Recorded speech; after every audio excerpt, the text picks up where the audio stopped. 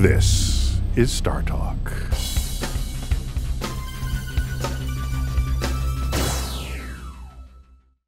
Gabe Sabo. Yes, Gabe. Gabe Uh, is coming, last name. Yeah, yes, Gabe is coming to us from Facebook and says, "Need a straight answer here, Bill.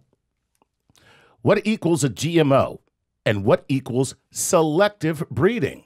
Where is the line drawn?" Well, that's a great question, Gabe. Well- it really is a great question. Look so, at you, Gabe. You show off. Yeah, yeah, it's really good because Okay, go ahead. This is this is the question. When I wrote this chapter uh, in the first version of my book about evolution, I had a pretty clear idea in my mind about the distinction. And the distinction was whether or not humans were influencing it. That was my uh, idea, the, influencing the genome.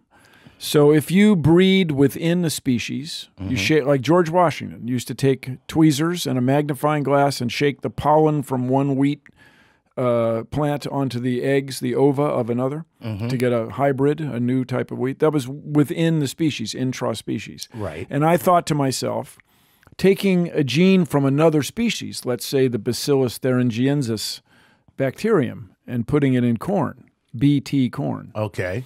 Uh, that would be. Did you say uh, BET corn? no? No, that's that's different.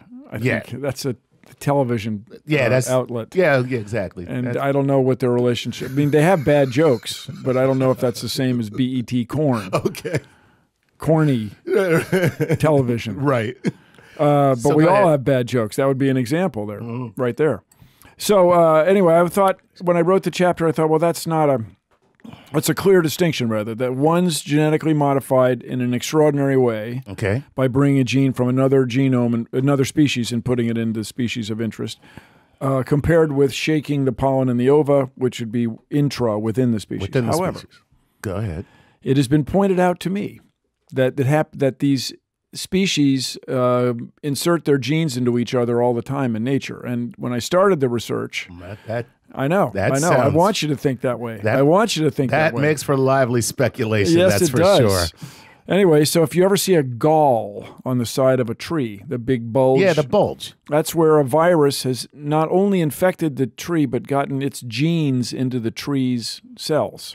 Nice. But then, as I was finishing research and turning in the final, uh, the word final, the last manuscript, version of the manuscript, this fabulous research came out about sweet potatoes. And so it turns out the sweet potatoes that you and I know and love, Mm-hmm. presuming that you know them and love them, I do indeed. uh, the, It's very difficult for a, a, a black person not to know and love sweet potatoes.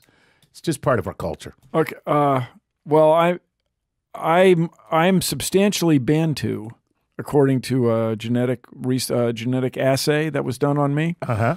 Uh, and but I, and I love sweet potatoes. There you go. Coincidence? What I tell you? Coincidence? What I say, my fellow brother? So uh, that aside, this these genes from outside the sweet potatoes clearly got in there naturally. Naturally. So that humans accelerate it, you can argue quite strongly, and for me convincingly, that this is what humans do.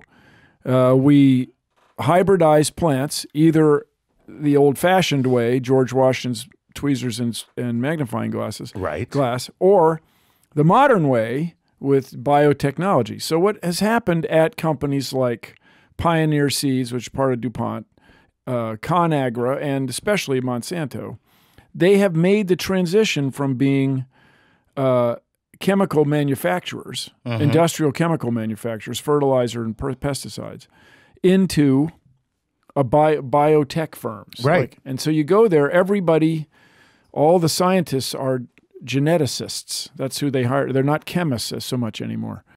This is Star Talk.